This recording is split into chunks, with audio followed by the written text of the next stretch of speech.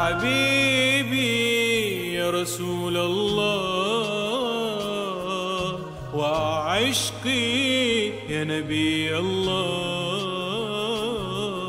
صلاة وسلام الله عليك يا حبيب الله. فسبحان الذي أجرى شعاع الشمس والأفلاك وسبحان الذي أعطى. من الإعجاز ما أعطاك فإن الخير في مسراك ونفسي ترتجي لقياك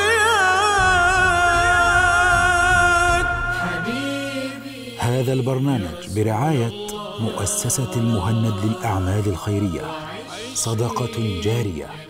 على روح المرحوم بإذن الله تعالى مهند محمد منتصر. وسلام الله وسلام الله عليك يا حبيب الله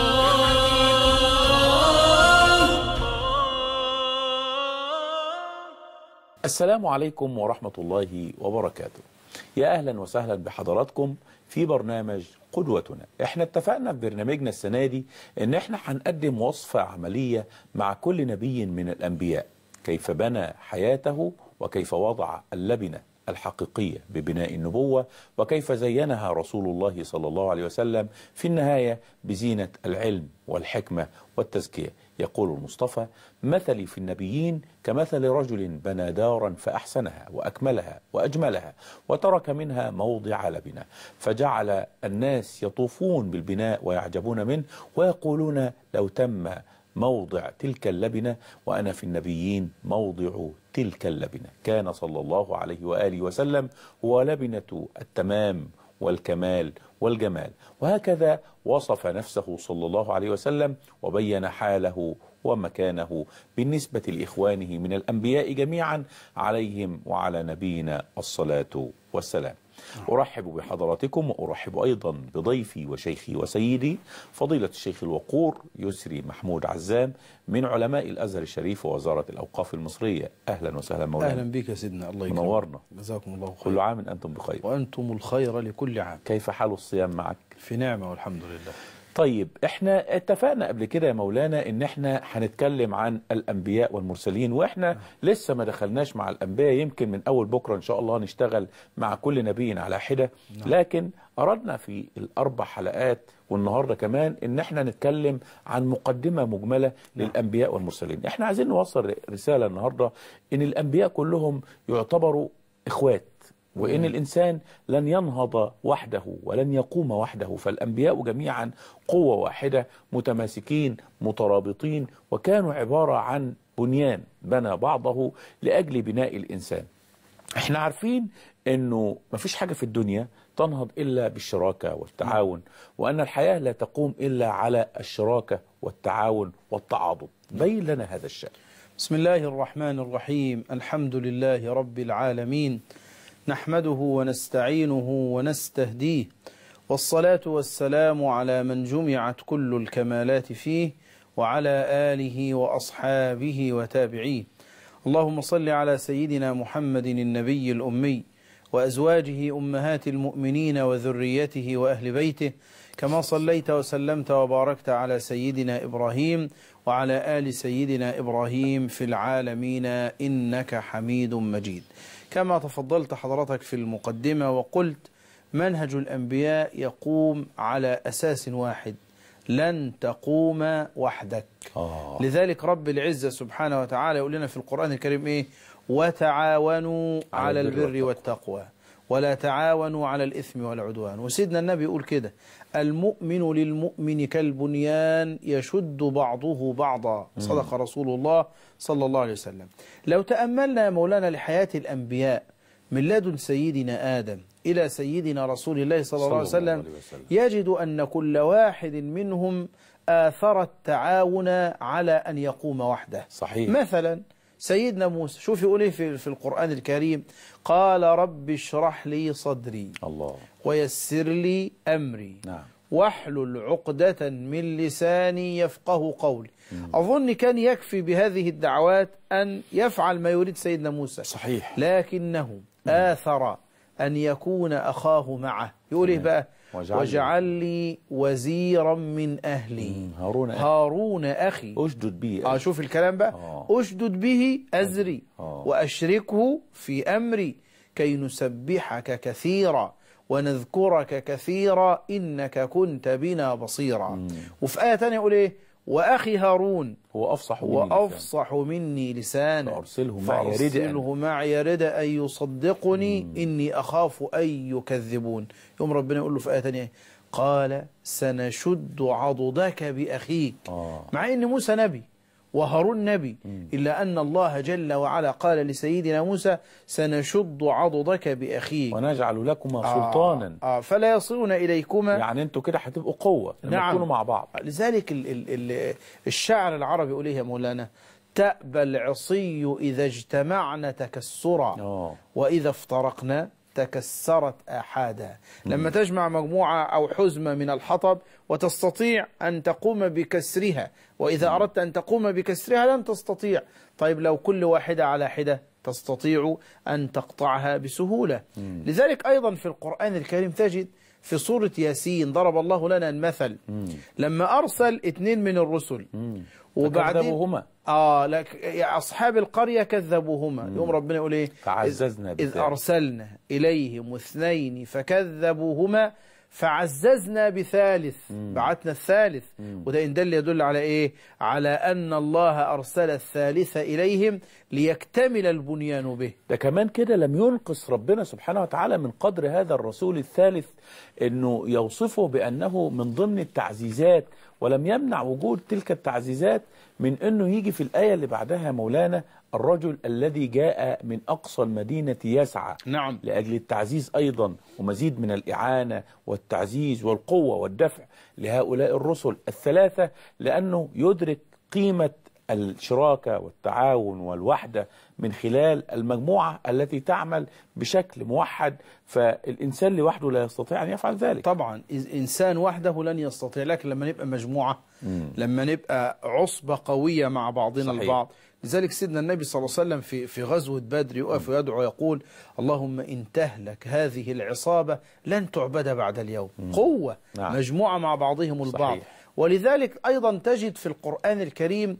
آه، في سورة الكهف آه. في قصة ذي القرنين نعم. لما قالوا له عايزين نعمل سد آه. ما كان ممكن ذي القرنين وهو عنده القوة. يشتغل لوحده. يبني السد وحده لا لهم. فأعينوني بقوة. فأعينوني بقوة أجعل بينكم وبينهم ردما وبدأ يديهم بقى الوسائل. آتوني زبر الحديد إلى آخر الآيات. نعم نعم نعم. لذلك ربنا سبحانه وتعالى يقول لسيدنا النبي في القرآن إيه؟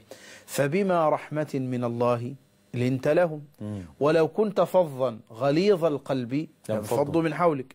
فاعف عنهم. واستغفر لهم. واستغفر لهم. شوف شوف في الأمر. شوف بيت القصيد. وشاورهم في الأمر. يعني أنت راجل معاك ناس عايز تشتغل اشتغل بيهم ومعاهم. مع إن سيدنا النبي مؤيد وملهم ومسدد ومعصوم من الوقوع في الزلل والخطأ يقوم ربنا يقول له وشاورهم في الناس. وهذا ما حصل في أسرى غزوة بدر. هنعمل إيه؟ سيدنا عمر يقول له يا رسول الله نقتلهم. سيدنا أبو بكر يقول له يا رسول الله نأخذ الفداء. يقوم ينزل القرآن يؤيد رأي سيدنا عمر ما كان لنبي أن يكون له أسرى حتى يثخن في الأرض. تريدون عرض الدنيا والله يريد الآخرة والله عزيز حكيم. نعم. إلى آخر الآية. يعني أنا شايف كده يا مولانا إن حضرتك من كلامك بتلمح إلى إن الواحد فينا يكون ترس جوه آلة. نعم. نشتغل كلنا مع بعض بمنهج الشراكة والتعاون المثمر والبناء الحقيقي ومحدش فينا يشتغل لوحده ويظن أنه سيتوقف إلى العالم عنده وأنه المعنى ده لأنه كان مهم عند الأنبياء تلاقي سيدنا النبي صلى الله عليه وسلم يدعو الأمة أن تتعاون ويشبه المؤمنين في اتحادهم وتعاونهم بالجسد الواحد. فيقول صلى الله عليه وسلم مثل المؤمنين في توادهم وتراحمهم وتعاطفهم كمثل الجسد الواحد. إذا اشتكى منه عضو تداعى له سائر الأعضاء بالسهر والحمى ويقول لنا المؤمن للمؤمن كالبنيان. تعرف يا مولانا وأنا بشتغل في الإعلام كنت دايما حابب إن يكون لي رفيق وصديق.